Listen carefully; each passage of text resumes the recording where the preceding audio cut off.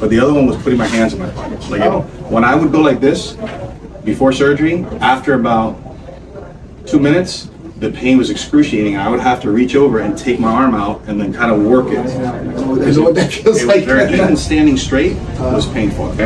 Ask him to, to start getting you to, to coordinate. Okay. Not, you know, you're not pitching for the Marlins. Right, right, right. Although they could probably use you. It was the Mets. I can sign my. Okay.